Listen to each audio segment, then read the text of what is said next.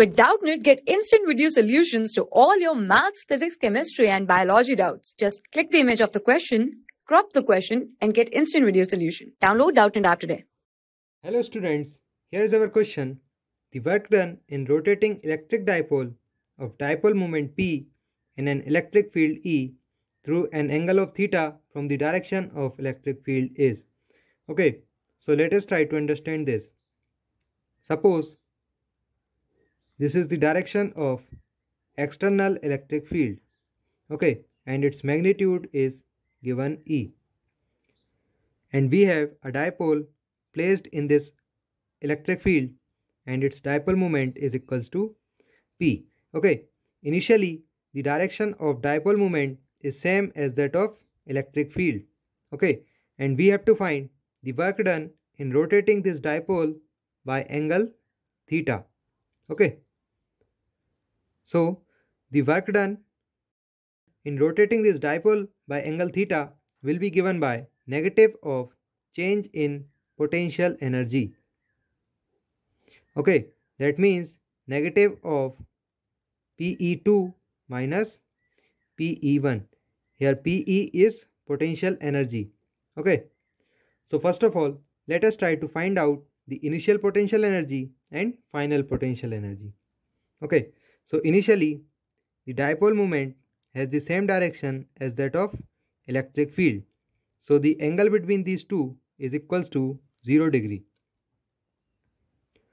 So the initial potential energy that is PE1 is given by minus P into E into cos theta. Okay, and theta here is 0 degree. So cos 0 will be 1. So initial potential energy will be equals to minus P into E. Okay. Now, when this dipole is rotated by angle theta,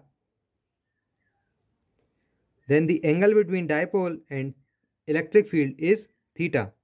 So, final potential energy will be equals to minus P into E into cos theta. Okay, so this is the final potential energy. Now, we have work done which is given by minus PE2 minus PE1. So let us put these value here to find the value of work done. So it is minus PE2 is P into E into cos theta minus initial potential energy is minus P into E. Okay, now simplify this. So it will be minus P into E minus P into E cos theta. Okay, and we can take this P into E common. So it will be minus P into E of 1 minus cos theta. Okay, so this is the value of work done in rotating the dipole by angle theta. Now let us check the options here. So in none of the option this value is given. Okay, so these all are wrong option and the right answer for this is minus p into e into 1 minus cos theta.